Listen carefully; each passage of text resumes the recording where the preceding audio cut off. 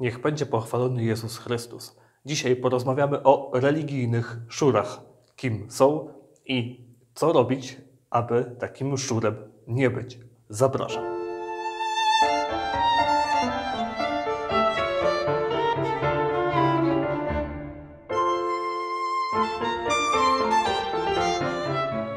Słowo szur pojawiło się w języku polskim stosunkowo niedawno, natomiast od razu zdobyło pewną popularność. Dzisiaj zwykle jest ono interpretowane, rozumiane jako ktoś, kto wierzy w teorie spiskowe. Jeśli chodzi o to rozumienie tego słowa, to odsyłam również do moich materiałów poświęconych teoriom spiskowym i nie będę tutaj już więcej w to wchodził.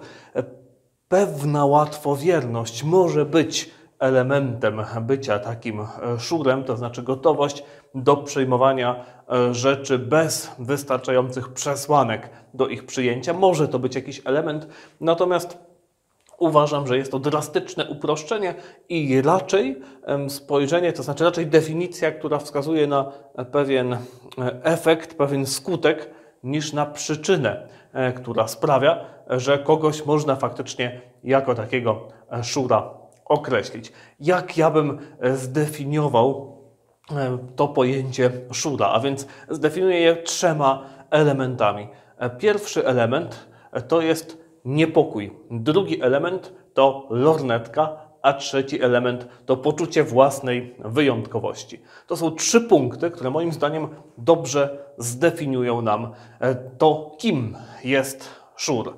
A więc niepokój, lornetka i poczucie własnej wyjątkowości. Wyjaśnię teraz oczywiście, co mam na myśli, gdy mówię o tych trzech punktach.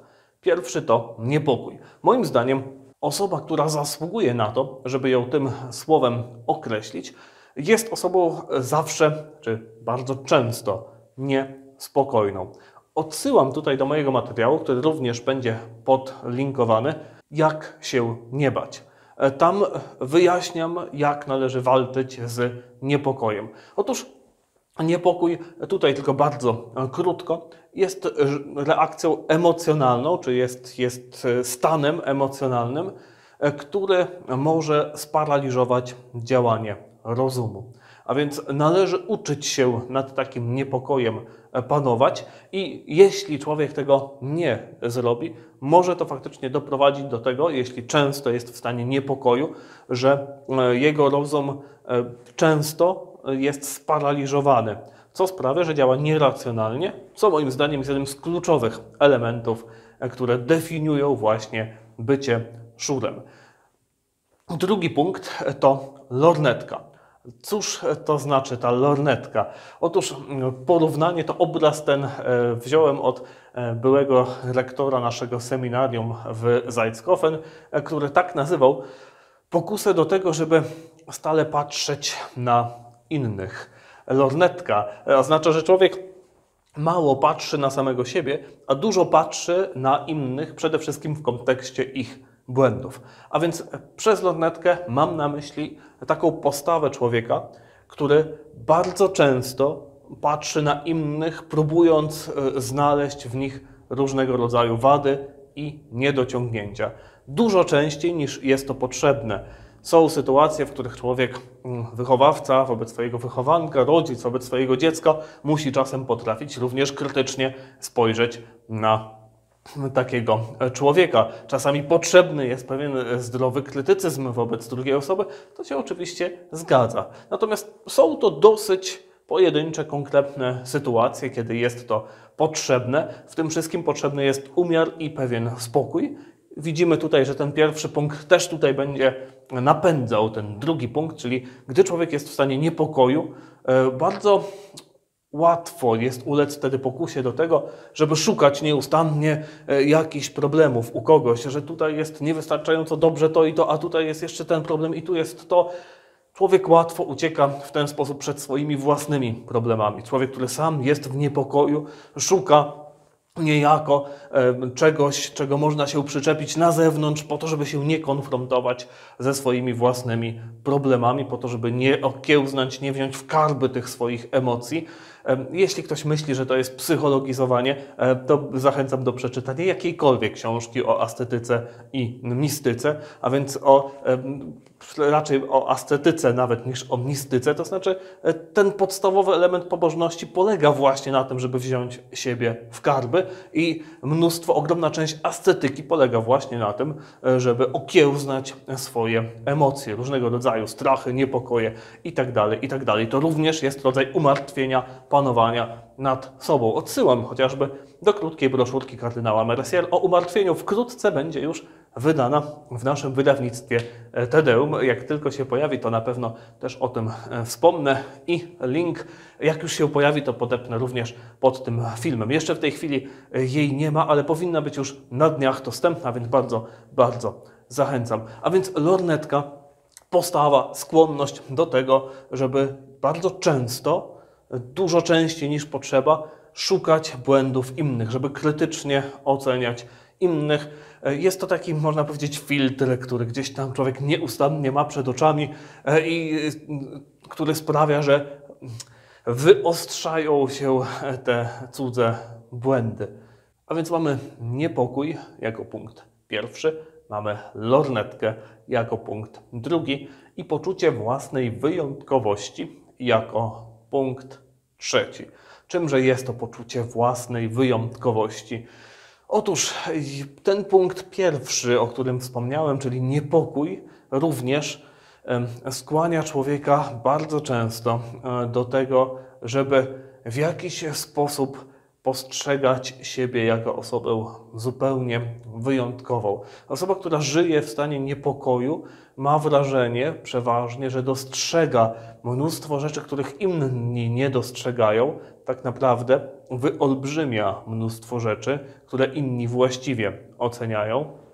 I to skłania człowieka bardzo często do tego, żeby myślał, że on właśnie widzi rzeczywistość, jaka ona jest, a wszyscy inni to nie widzą, oni są właśnie otępiali, oni właśnie nie widzą właściwie. Bardzo łatwo ze niepokoju emocjonalnego rodzi się również takie poczucie własnej wyjątkowości. Widzimy również e, związek z drugim punktem, czyli z lornetką. Jeśli człowiek z takim filtrem patrzy na rzeczywistość, że dostrzega w nim przede wszystkim cudze błędy, to są ludzie, którzy przeszukują internet w poszukiwaniu czegoś, co może tam można gdzieś, o, to może być niepokojące, to może tutaj ktoś zrobił jakiś błąd i tak dalej, i tak dalej. A więc ta lornetka, e, szukanie tych cudzych błędów również sprzyja temu, żeby właśnie, o, czuć się wyjątkowym. Ja tutaj wykazałem taki i taki błąd i to i to zrobiłem i tutaj, znaczy właśnie nie, i to i to zrobiłem, wykazałem, zobaczyłem, dostrzegłem e, wszystkie te zagrożenia, niebezpieczeństwa e, i cudze błędy bardzo łatwo rodzi się z tego poczucie własnej wyjątkowości. Ono odpowiada, powiedzmy, w e, takiej terminologii świeckiej, e, mniej więcej e, temu, co nazywamy pokoleniem płatków śniegu. Odsyłam tutaj również do materiału na kanale Wojna Idei, który ma dokładnie taki tytuł, jeśli dobrze pamiętam. Podlinkuję ten materiał. Jest to moim zdaniem jeden z lepszych materiałów na tym kanale w ogóle. On opisuje właśnie to zjawisko na poziomie takim e, zupełnie świeckim, nie na poziomie e, duchowym, natomiast e, jest to zjawisko analogiczne, to znaczy bardzo zbliżone, a powiedzmy, że spojrzenie jest po prostu z różnych stron na ten sam problem. A więc taki człowiek, który żyje w stanie prawie permanentnego lub permanentnego niepokoju, który jest skłonny do tego, żeby nieustannie doszukiwać się cudzych błędów e, i e, który czuje się jeszcze jednocześnie wyjątkowym e, człowiekiem. Takiego człowieka określiłbym mianem szur, czy moim zdaniem mm, te trzy punkty definiują dobrze to, co mamy na myśli, gdy używamy tak zupełnie potocznie i powszechnie tego słowa. No i oczywiście, gdy mówiłem na początku o religijnych e, szurach, e, to mam na myśli osoby, które jednocześnie są bardzo zainteresowane kwestiami religijnymi, które w, tym, w tej tematyce bardzo często się obracają, a jednocześnie wykazują te trzy punkty. Ten materiał oczywiście nie jest po to, żeby się kogoś czepiać i wykazywać, a ktoś tam jest jakiś nie taki jak potrzeba. To jest raczej y, czynność stricte duszpasterska, to znaczy po to, żebyśmy sami siebie pilnowali, e, żeby w nas te błędy, które do takiego szurostwa e, prowadzą, w nas się nie zagnieździły, w naszej duszy nie zapuściły korzeni. A uważam, że każdy z tych trzech punktów jest dosyć realną i niebezpieczną pokusą. A więc teraz jak z tymi pokusami, e, które dotyczą tych trzech punktów, walczyć? Pierwsza rzecz, niepokój odsyłam do mojego materiału, jak się nie bać jeszcze raz. Natomiast tutaj dodam tylko jeszcze taką, e, powiedzmy, typowo religijną metodę do walki z niepokojem. Praktykujmy modlitwę myślną praktykujmy modlitwę myślą, nawet bardzo prostą. E, mówmy Panu Jezusowi o tym, co nas boli, co nas przeraża. E, odsyłam tutaj do mojego materiału, dlaczego młodzież traci wiarę. Tam mówiłem o tej prostej metodzie modlitwy myślnej, która myślę, że i tutaj bardzo łatwo może pomóc.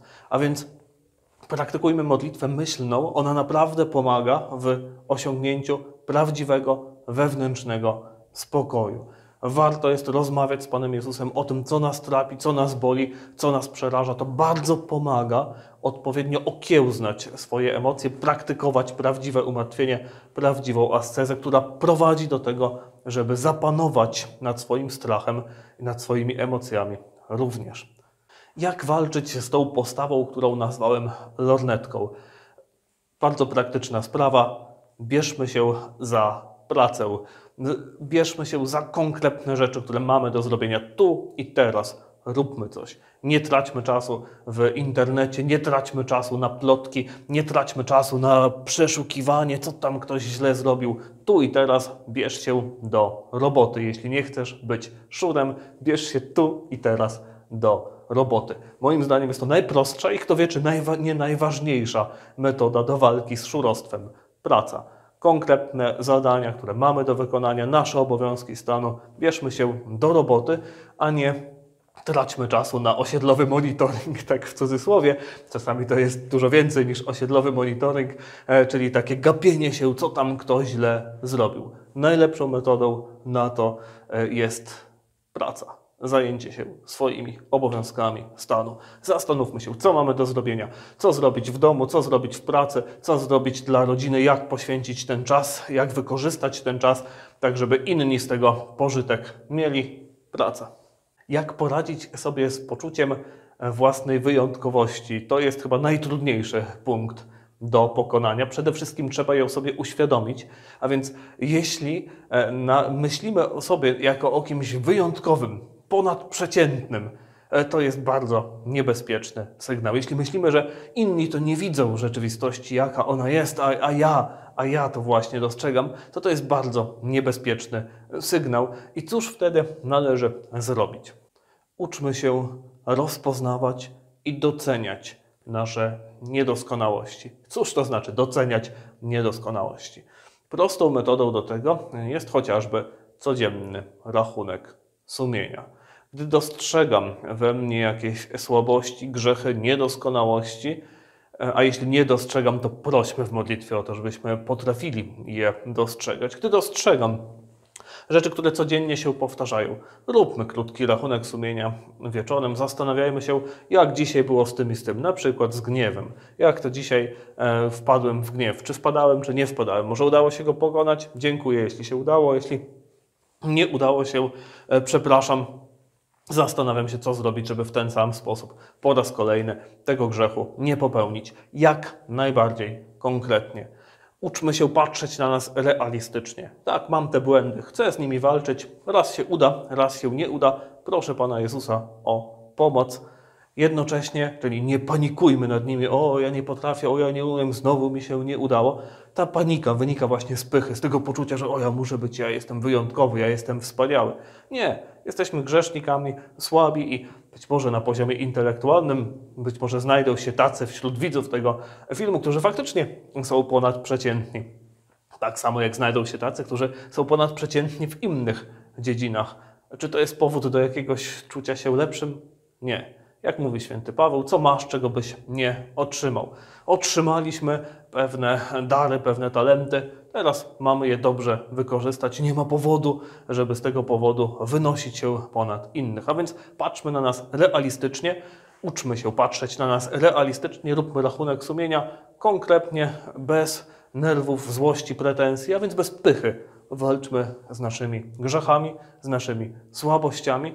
W ten sposób człowiek wyrabia w sobie e, realistyczne spojrzenie na samego siebie, e, zarówno unika tego wybielania samego siebie, jak i paniki ze względu na własne niedoskonałości, bo tak też często człowiek reaguje w obliczu swoich słabości. To pomaga nam e, nabrać pewnego dystansu do siebie. Odpowiednia walka z naszymi grzechami, taka spokojna, konsekwentna, codzienna walka z naszymi grzechami pomaga nam nabrać dystansu do samego siebie. Oczywiście to, co powiedziałem, jest tylko pewnym zarysem tego, co można by tutaj zrobić. Cała ascetyka i mistyka, e, czyli ta praca nad duszą e, oscyluje wokół, wokół e, panowania nad sobą, walki ze swoimi wadami, wokół zbliżania się do doskonałości i wiele tutaj różnych jej elementów można by było wymienić. Ja starałem się wymienić takie bardzo aktualne, które konkretnie służą do tego, żeby z tymi trzema punktami, które moje, moim zdaniem są dzisiaj bardzo niebezpieczne, bardzo powszechne, no nie przez przypadek to określenie szur powstało w naszych czasach. Najwyraźniej mamy z tym bardzo konkretny problem i dlatego myślę, że warto szczególnie te trzy punkty wziąć na celownik i z nimi zawalczyć. Niech będzie pochwalony Jezus Chrystus.